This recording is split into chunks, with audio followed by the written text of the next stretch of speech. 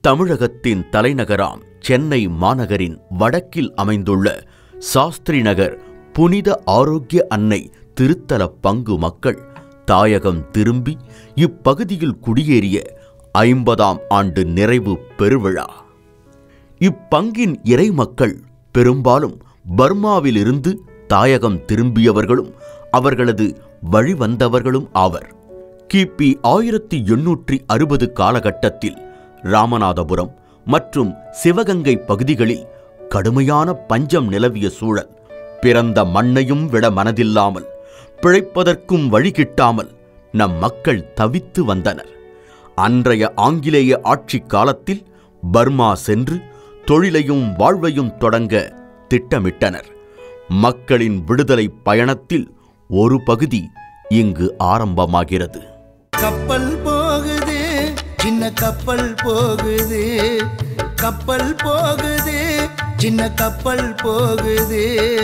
கிறிஸ்து இயேசு கிருபையால கடந்து போகுது. கன்னிமரியின் கருணையால கரையை சேர்ந்தது ரங்கோனின் கரையை சேர்ந்தது.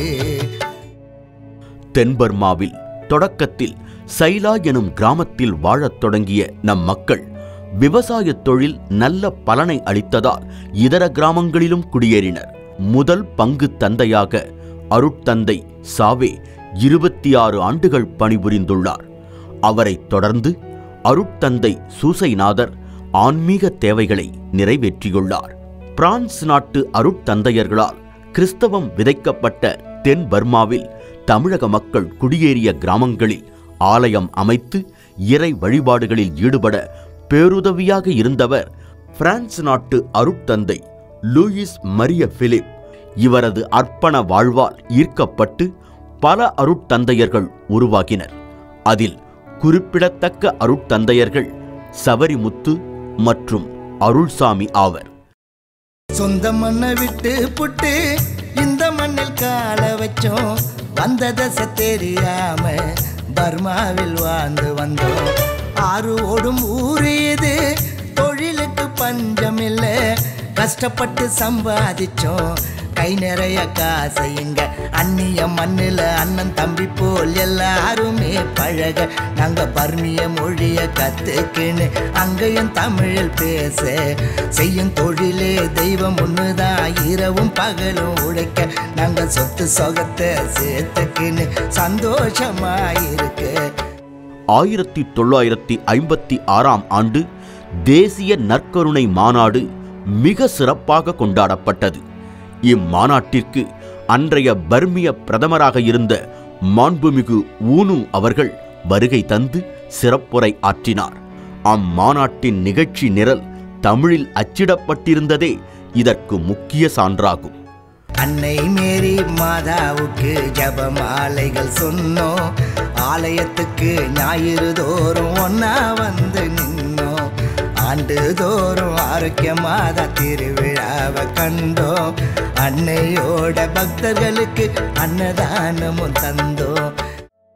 தமிழரான அருட்தந்தை எஸ். சபரிமுத்து அவர்கள் புனித அந்தோணியார் ஆலயத்தை திறம்பட நடத்தி வந்தார்.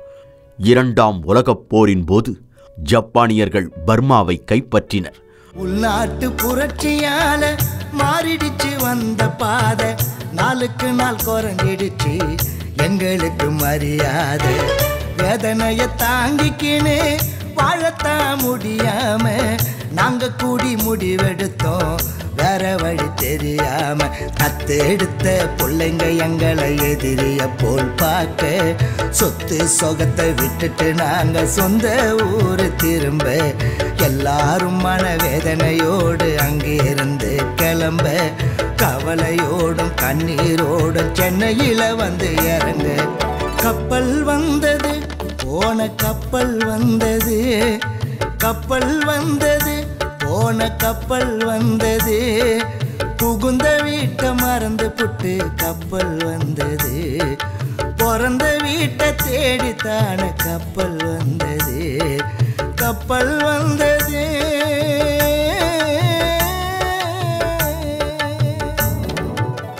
ரங்கூன் துறைமுகத்திலிருந்து தமிழக மக்களை ஏற்றி வந்த கப்பல்கள் சென்னை துறைமுகத்தை வந்தடைந்தன. சென்னையில இறங்கி தேடணும். எங்க போய் இருப்பதுன்னு கொஞ்சம் தடுமாறணும். மந்தோவாணி சாமியாரு எங்க குறைய தீர்த்தாரு. வியாசார்பாடி ஏறி ஓரம் தங்க குடிசை தந்தாரு. உன்ன உணவும் உடையும் தந்து எங்க கூட இருந்தாரு. காயம் பட்ட இதயங்களுக்கு ஆறுதல் மருந்த தந்தாரு. ஜாதி மத பேதமின்றி சுமார் ஆயிரத்தி ஐநூறு குடிசைகளை அமைக்க அருட்தந்தை அவர்கள் உதவினார்கள். பர்மா தமிழர்னு பட்டத்தையும் வாங்கணும்.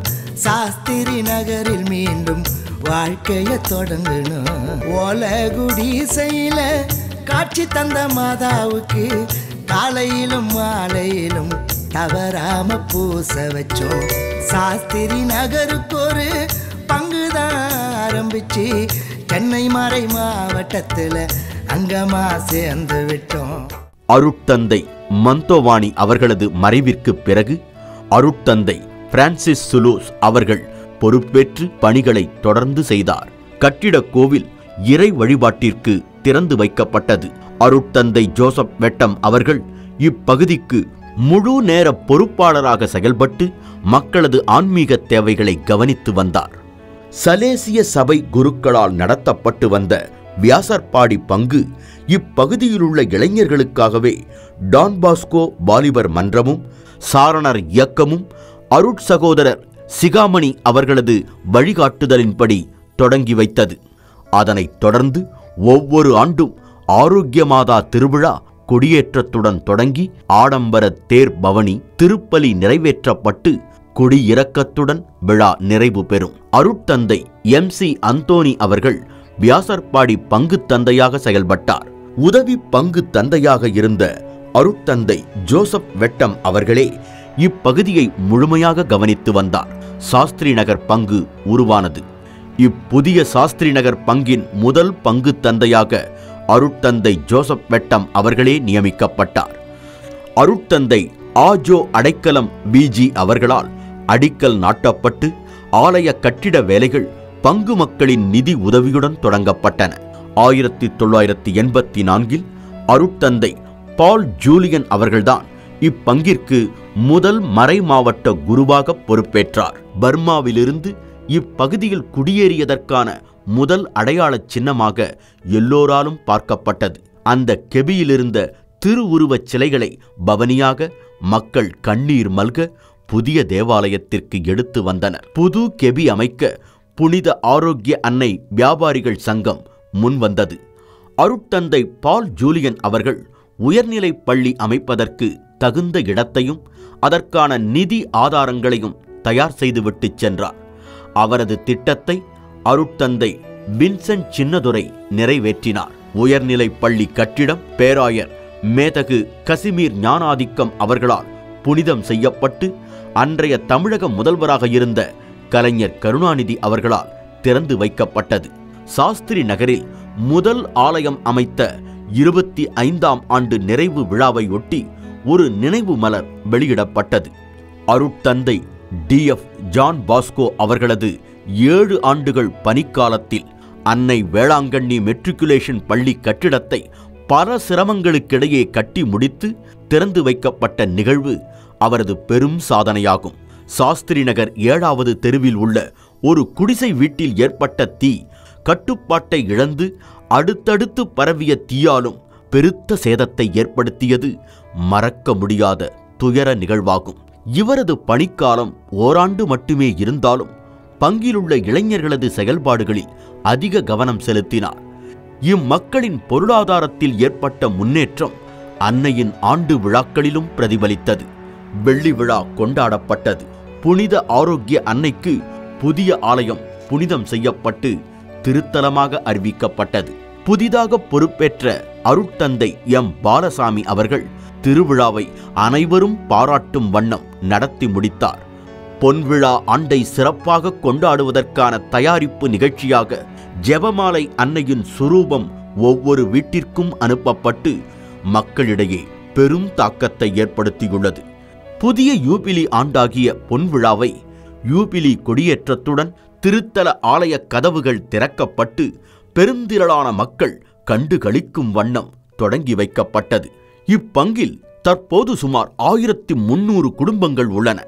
இந்த ஐம்பதாண்டு காலங்களில் எல்லாம் வல்ல இறைவன் இவர்களுக்கு செய்த அனைத்து நன்மைகளையும் எண்ணி பார்க்கின்றனர். பங்கு தந்தைங்க வந்ததனால எங்க கோவில் மாறிடுச்சு. பங்கு மக்களின் உதவியால பெரிய கோவில ஆயிடுச்சு கோடி கணக்கில் செலவு செஞ்சு ஆலயத்தை கட்டிட்டோம். வட சென்னை யாருக்கு அன்னைக்கு தான் பொன் விழாவை கண்டுட்டோம்.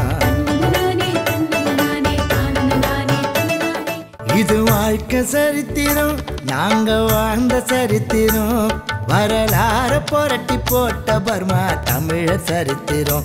வல்லவர் இயேசுவோட கிருபையால கிடைச்ச சுதந்திரம். ஆரோக்கிய அன்னையோட ஆசிதானே என்றும் நிரந்தரம். எங்களுக்கு என்றும் நிரந்தரம். இது வாழ்க்கை சரித்திரம்.